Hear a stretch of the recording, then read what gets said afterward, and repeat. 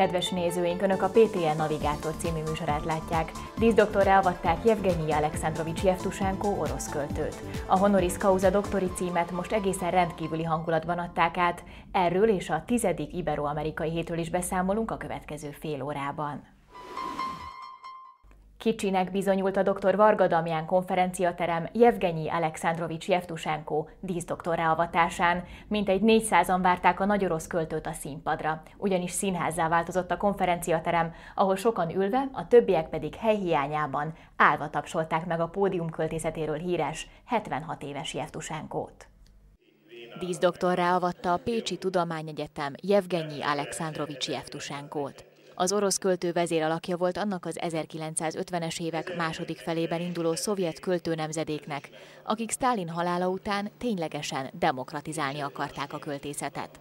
Utcákon, tereken adták elő verseiket, több tízezres rajongói táborral rendelkeztek. Ez az érdeklődés úgy tűnik azóta is töretlen. Jevtusenko pódium költészetére a díszdoktoravató ünnepi szenátusi ülésen is olyan sokan voltak kíváncsiak, hogy kicsinek bizonyult az ifjúságúti konferenciaterem. A honoris causa doktori cím ünnepélyes átadása után az ünnepség formális keretei kicsit fellazultak, aztán szinte eltűntek. A Janusz Egyetemi Színház és az Egyetem Művészeti Kara a költő tiszteletére összeállított műsorát harmonika szó kísérte. A költő verseit Sólyom Kati, Köles Ferenc és C. Dániel mondta el magyarul. Jevtusenko aktívan részt vett a tiszteletére készített műsorban, előadásaiban hihetetlen energia feszült.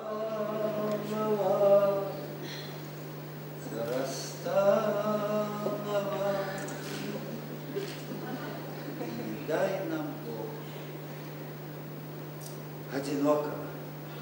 Одинокого.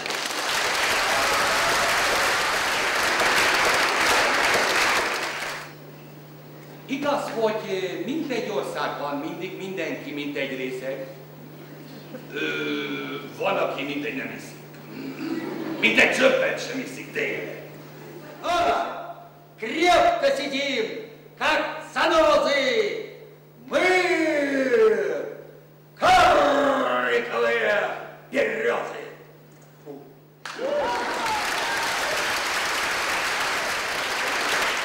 76 éves orosz költő vitalitása lenyűgözte a közönséget, és hogy honnan ez a lendület, a válasz Jevtusenko szerint nagyon egyszerű. Потому что я... Az egész titok abban van, hogy vannak költők, akik szinte szándékoltan foglalnak el marginális pozíciókat. Tulajdonképpen őket nem érdeklik az emberek, és úgy írják a költeményeiket. Tehát ez az oka ennek. Ez, ebben van a különbség. Én meg viszont egyszerűen szeretem az embereket. Magyar barátaim azt mondták nekem, hogy az az érdeklődés a költészet iránt, ami a 60-as években még virágzott Magyarországon, az már nem létezik. Én nem hittem el Az embereknek mindig szükségük lesz a költészetre, különösen akkor, amikor megfelelkeznek arról, hogy Egyszerűen emlékeztetni kell őket erre. Most például Görögországba fogok innen menni, ahol egy hatalmas közönség vár rám. Görögországban egy olyan amfiteátrumban fogok fellépni, amely az Olympos lábainál. Kis Theodorakis fogok együtt fellépni, a műsor egyik fele az enyém lesz, a másik fele az övé.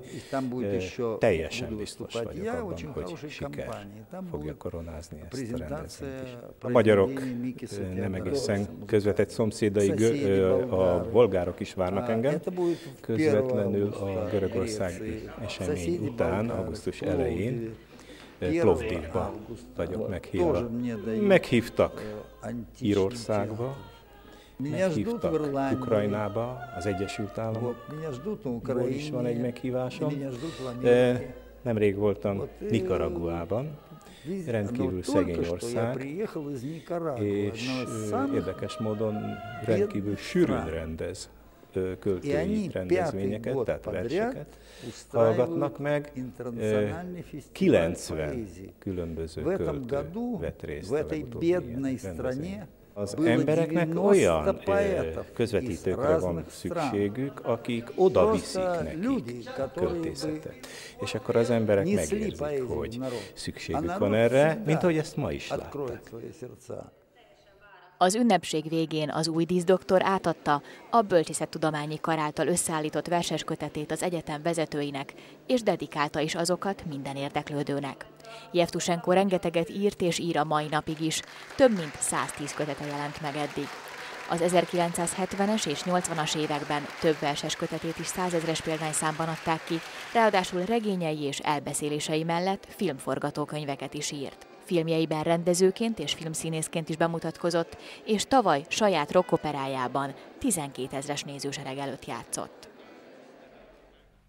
Tizedszer is töretlen sikerrel tudományos és kulturális hetet szervezni nem kis teljesítmény. A PTE Ibero-Amerika központjának sikerült, idén is egy héten át a spanyol és portugál nyelvű civilizációt ismerhették meg a pécsiek és minden érdeklődő, aki ellátogatott a színes kiállítások, koncertek, filmek és tudományos konferenciák valamelyikére. Egy héten keresztül ünnepelték az ibero-amerikai kultúrát a PTN. A rendezvényt egy kiállítás megnyitójával indították útjára. Az ifjúságúti aulában a vallási kultúráról szóló LKF felvezetőjévéhez kapcsolódóan a portugál nagykövetség tablókiállítást rendezett Padre Antonio Vieira jezsuita hitszónokról, a portugál történelem és irodalom egyik legnagyobb hatású alakjáról. A kiállítást Francisco Enriquez da Silva, Portugália nagykövete mutatta be, majd pedig professzor dr. Fischer Ferenc, a Pécsi Tudományegyetem Ibero-Amerika központjának igazgatója megnyitotta az egyhetes rendezvénysorozatot. Örülünk neki, hogy megérhetük ezt a tíz évet, végül is 2000-től kezdődött. Nyilván 2000-ben nem tudtuk pontosan, hogy 2, 3, 4, 5 év után milyen tradíciója, milyen fő pillérei lesznek ennek a programsorozatnak. De most a tizedikre készülve, ami épp ugye mai nap kezdődik el, azt mondhatjuk, hogy kialakult most már sok év óta azt lehet mondani, egy tudományos kolokvium, ami egy vagy két napos, spanyol, portugál, latin-amerikai előadókkal. A tizedik Ibero-amerikai hét kulturális és tudományos programokban is bővelkedett. A PTE spanyol szemináriuma több spanyol nyelvű programot is szervezett, és egy kerekasztal beszélgetésen a Magyarországon akreditált spanyol és portugál nyelvű, valamint Spanyolországban, Portugáliában és a tengeren túli spanyol, illetve portugál nyelvű országokban külszolgálatot teljesítő magyar nagykövetek és diplomaták is részt vettek. Az Ibero-amerikai hét nem csak az Ibero-amerika központ és a bölcsészkar számára kiemelkedő jelentőségű, az egyetem és Pécs kulturális életében is meghatározó fontossággal bír. Pécs azért készül 2010-re, az egyetem, ezen belül az egyes karok, és ezen belül az egyes tanszékek, szakok a maguk lehetőségének megfelelően próbálnak ezért tenni valamit. Ilyen értelemben ezen a ponton, tehát ha Ibero-amerika központot mondjuk, együttműköd a spanyol szemináriummal, spanyol-magyar baráti társasággal, a két tannyelvű Kodály gimnáziummal. Tehát valamit teszünk azért, hogy ezek a kulturális, tudományos programok 2010 felé legalábbis ebben a vonatkozásban színvonalasak legyenek, és elérje azt a célját, amiről a Pécs 2010 induláskor szólt. A kiállítások, filmvetítések mellett színvonalas koncertek is színesítették a kulturális palettát egy héten át. A Pécsi zsinagógában például André Simao virtuóz brazil gitárművész koncertjén egy brazil zeneszerző, Eitor Villa Lobos gitára írt műveit hallgatta meg a közönség.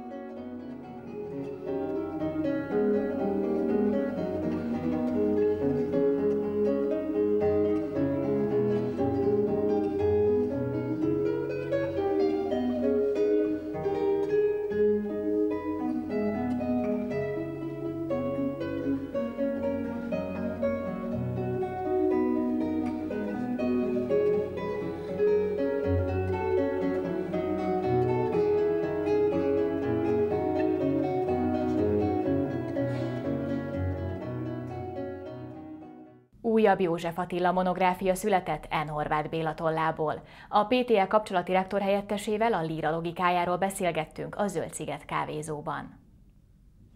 Egy hiánypótló kötetről van szó, mondhatjuk. Mitől ad újat ez a József Attila monográfiák sorában? Mindenken előtt attól, hogy 1998-ban, amikor megjelent Szabolcsi Miklós monográfiájának utolsó kötete, ez volt az összegzésnek az utolsó darabja. Tehát ides tova tíz évvel telt, ides tova átléptünk egy második évezredbe, mindenképpen szükség volt, az akadémiai kiadó is úgy gondolta, egy olyan munkára, amely a mai József Attila tudásunkat áttekinti, megpróbál egy összegzést adni, részben pedig a korábbi erősen vagy kevésbé erősen ideológikus színezetű elemzéseken túllépni, ideológikus beállításokon túllépni. Tehát szükség volt egy kézbefogható, olvasható monográfiára. Mi volt a szerkesztési elv, miközben a mű készült? Értelemszerűen az életpályát követtem, az életpályát a maga változásában. Nem mondanám, hogy fejlődésében, hisz József Attila élete, gondolkodás története rendkívül fordulatos, fordulatokban gazdag. Hogyha meggondoljuk azt, hogy 1928-ban még a tiszta költészet ideáját vallotta, két évvel később már a népi mozgalomba találjuk, utána egy év múlva szinte egy homlok egyenest ellenkező radikális mozgalomban, a kommunista mozgalomban találjuk, majd közel másfél év után ebből kiábrándulva, szakítva ezzel, mint egy önállósítja magát, és a maga szuverén egyéniségét próbálja megfogalmazni, meghatározni, átlépve egy nagyon súlyos válságot, válságon, aminek eredményeként vagy következményeként megszületik az eszmélet, és utána a kései költészetben pedig úgy szintén egy új korszakot kezd.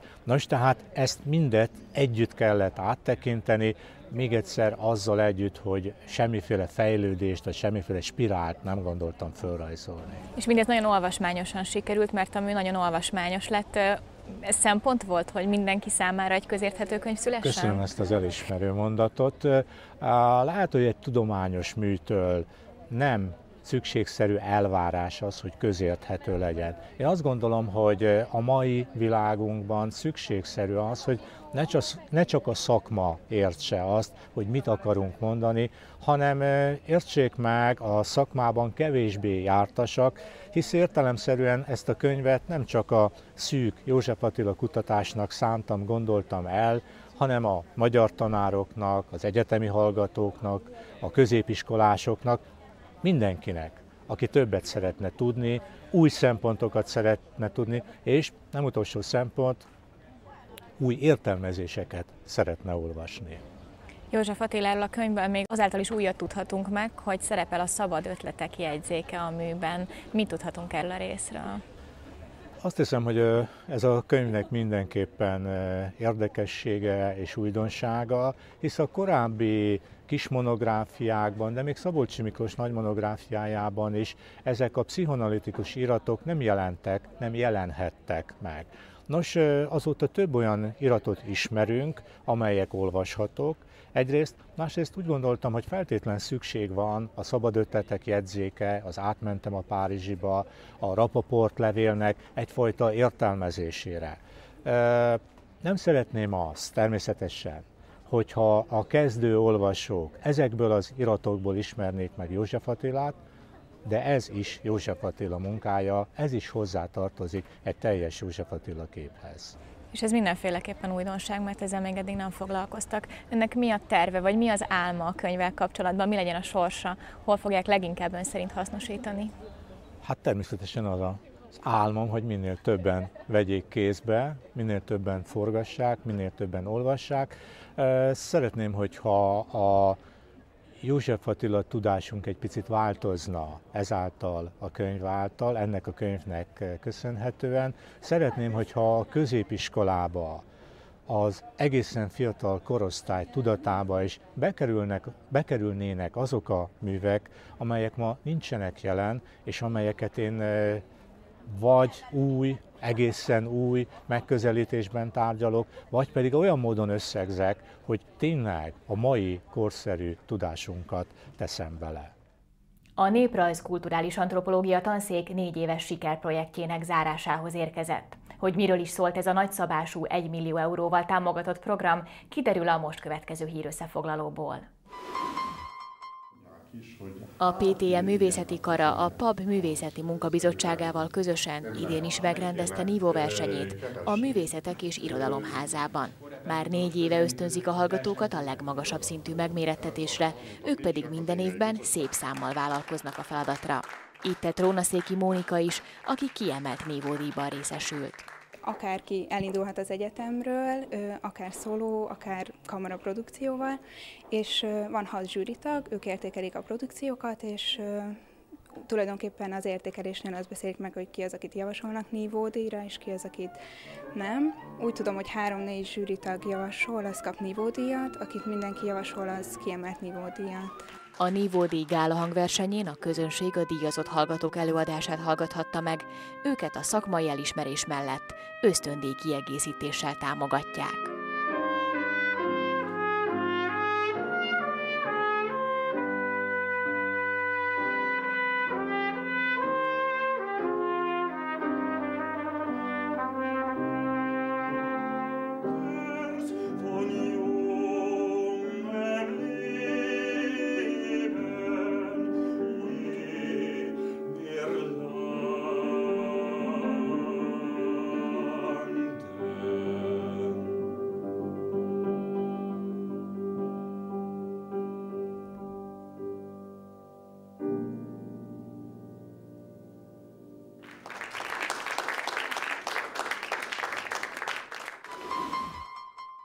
Az Európai Unió számára egyre fontosabb a migrációs egészségügy, ami noha még elég új területnek számít, kiemelkedő jelentőséggel bír, hiszen becslések szerint körülbelül 50 millió migráns él az Unióban.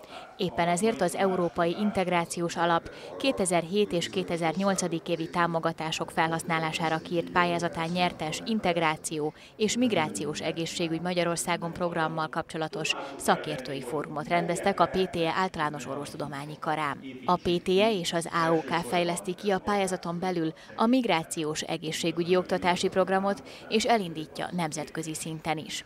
Ahhoz, hogy a migránsok sikeresen integrálódjanak, fel kell készíteni az őket segítő szakembereket a különböző anyaországokból hozott megbetegedési profilok kezelésére. Ehhez egy hat képzési modulból álló oktatási programot dolgoznak ki, ami egy mesterprogramnak felel meg, és egy BSC szintű képzéssel lehet elindulni rajta, a tervek szerint már a következő fél évben. A mostani konferencián az induláshoz szükséges képzési anyag kialakításához járultak hozzá a szakértők. A Bölcsészettudományi Kar néprajz kulturális antropológia tanszéke konferenciát rendezett a Papszékházban. Nem is akármilyen konferenciát, ez volt az első olyan nagyobb szabású, az Európai Unió keretprogramjaiba illeszkedő pályázat záróakordja, amelyet Magyarországon társadalomtudományi területen nyertek el. A Mári Küri fogadói ösztöndíj a tudástranszfer elősegítésére pályázat 1 millió eurót biztosított a négy éven át zajló programra. A konferencián neves nemzetközi szakemberek olyan témákat is érintettek, melyeket itt, Magyarországon még sohasem tárgyaltak. Az új antropológiai módszerek, nézőpont, témák, azok meg kell, hogy termékenyítsék valamilyen szinten a néprajzot. Na most hát így kell ezeket a témákat érteni. Most hirtelen éppen a legelső, a legelső előadónk témája eszembe, aki a politikai újratemetéseket nézte meg, Rákócitól kezdve Nagy Imréig és tovább Bartók, két, akárki, ugye tudjuk jól, hogy ezek majd hogy nem évente periódikussággal történtek, és ezeknek egyfajta antropológiai elemzését adja, amely a modernitásban is benne van, a történelem is benne van, és más például. De lehetne sorolni a, a példákat, nagyon sok olyan téma van egyébként, ami nem kifejezetten újnak számít, csak Magyarországon nem kutatták. A projekt alapvető célja az volt, hogy megújuljon a néprajzoktatás az antropológia segítségével. Ennek érdekében osztották meg egymással tapasztalataikat 15 ország kutatói a négy év alatt. Volt olyan előadó, aki két hónapot, de akadt olyan is, aki két évet töltött Magyarországon a projekt keretében. A záró konferencia ezért is kiemelten fontos volt, találkozhattak egymással olyan előadók is, akik a négy év alatt elkerülték egymást, és most először személyesen is megoszthatták egymással gondolataikat, többek között a népi vallásosságról, lokális és globális antropológiáról, modernitásról, a magyar néprajztól az európai etnológiáig, a kulturális és szociálantropológiáig. 15 éve alapították a PTE természettudományi karának földtudományok doktori iskoláját. Ennek alkalmából mindegy 20 doktorandus számolt be munkájáról és eredményeiről a papszékházban. A doktori iskola vezetői mindig is fontosnak tartották, hogy a PhD hallgatók lehetőséget kapjanak arra, hogy bemutatkozzanak és megismertessék kutatási területüket az érdeklődő szakmai közönséggel. Mi pécsiek kezdeményeztük valamikor, ezelőtt most már több mint tíz éve, hogy a földrajzi doktoriskolák jöjjenek össze minden két évben valahol, ahol van ilyen doktoriskola. Ez ma is működik, már mi nálunk kétszer volt, és ezeket a munkákat ki is adjuk. Most is tervezzük ennek a összejövetelnek az anyagát is nyilvánosságra hozni. A tudás utánpótlás képzésben a doktoriskolával szorosan együttműködik a Pécsi Akadémiai Bizottság, Környezettudományi, Területfejlesztési és Településtudományi Szakbizottsága, közösen munkálkodva a jövő tudós generációjának fejlesztésén. Együttműködésünk jó, hiszen a célunk ugyanaz. Az akadémia alapvető feladata a tehetségek felkarolása, segítés abban, hogy ezek a tehetségek kiteljesedjenek mindannyiunk hasznára. Az akadémia tehát fokozott figyelmet fordít a fiatal generációra, az utánpótlásra. A mi feléjük fordulásunknak pedig természetes oka, hogy aki doktoriskolába iratkozik valamilyen szintű tudományos karriert szeretne megvalósítani. Nagyon sok a PhD hallgató a természettudományi kar doktori iskolájában. Ők mind a mellett, hogy saját tudásukat a legmagasabb szintre fejleszthetik egyetemi és akadémiai keretek között. Fontos szolgálatot tehetnek Pécs városának és az országnak is tudományos eredményeikkel. Már középiskolában körvonalazódott, hogy ha egyszer egyetem, ha földrajz, akkor mindenképpen szeretnék nem csak egyetemi diplomát, hanem fokozatot is szerezni. Természetesen mindenki úgy van ezzel, hogy amennyiben lehet az egyetemen marad, maradna, viszont a későbbiekben, talán területfejlesztésben, vagy hát a, a mi esetünkben területfejlesztésben, vidékfejlesztésben mindenképpen hozzájárulhatunk egy fejlődéshez. A doktorandusz hallgatók témavezetőik jelenlétében változatos tematikájú ülésszakon mutatkoztak be, érintve a környezettudomány, területfejlesztés és településtudomány legkülönbözőbb területeit. A PTR-re látogatott Jürgen Habermas. A korunk gondolkodását alapvetően meghatározó filozófus a kommunikációról, politikáról, filozófiáról, etikáról alkotott felfogásunkat alapvetően befolyásolta, és hat rá a mai napig.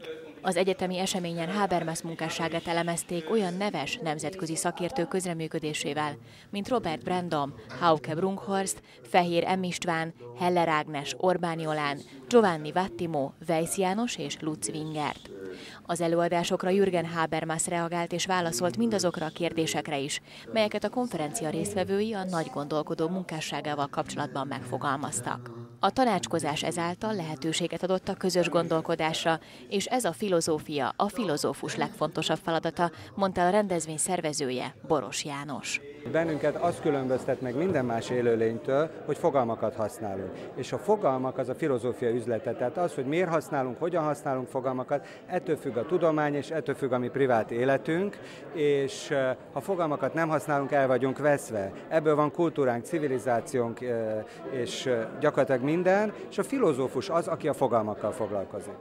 Jürgen Habermas a konferencián kiemelten foglalkozott a vallás jelentőségével a demokratikus világban, vizsgálva mindezt a szeptember 11-i amerikai eseményekhez kapcsoltan. A Pécsi Galériában június 6-áig a művészeti kar DLA hallgatói kapnak lehetőséget a megmutatkozásra. A fiatal művészek az elmúlt egy év munkáit állították ki a közönségnek. A PTM művészeti karának doktori iskolája kiállítást rendezett doktorandusz hallgatóinak munkáiból a Pécsi Galériában. Az esemény megnyitóján Aknai Tamás művészettörténész köszöntötte az érdeklődőket és elmondta, a következő 50 év vizuális karakterjeit meghatározó alkotók és stílusok találkoznak a DLA hallgatók munkáiban. Itt ezen a kiállításon az elmúlt egy év alkotásait ismerhetjük meg.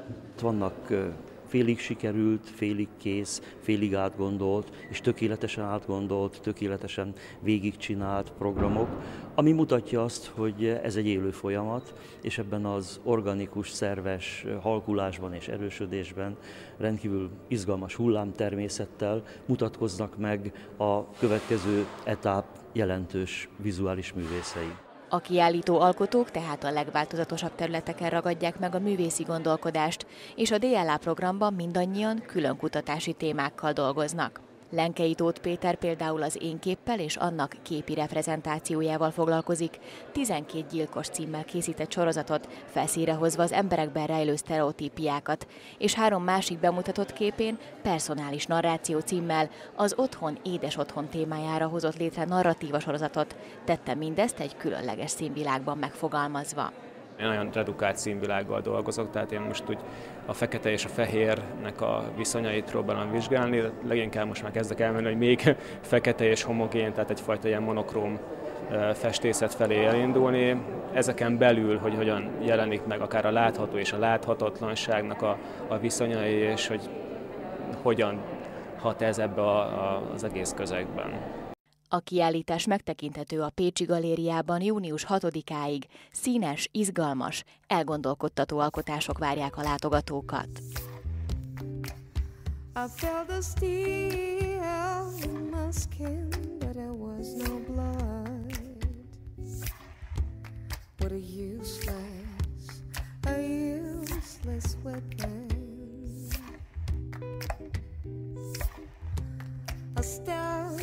Tram for one stop to that nice club. While the game was about to begin, a step on the tram for one stop to that nice club. While the game was about to begin. Kedves nézőink, Önök a PTN Navigátor című műsorát látták. Korábbi adásainkat és a Nyitott Egyetem című ismeretterjesztő műsorunkat is megtalálják honlapunkon, aktuális egyetemi hírekkel pedig legközelebb két hét múlva várom Önöket. Viszontlátásra!